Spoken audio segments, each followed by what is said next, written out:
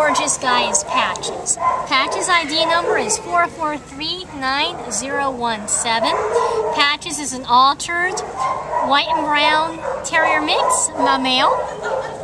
We think he's about four years old.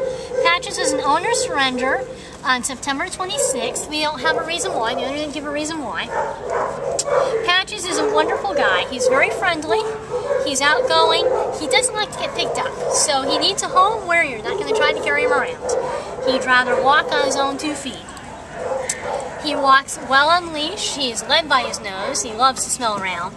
He's shown a lot of strong signs of housebreaking. He's, he's a tail wag. He gives, he's affectionate. He gives kisses. He's a fantastic guy. Um, we think he should, because he doesn't like to be carried, and he will let you know that, we think he'd probably do better in an adult home.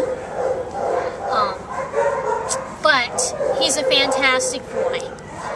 We think he'd do great in an active indoor home. And his name is Patches. 4439017. And if you want to come down and get patches,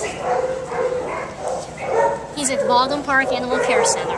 Come on down and get him.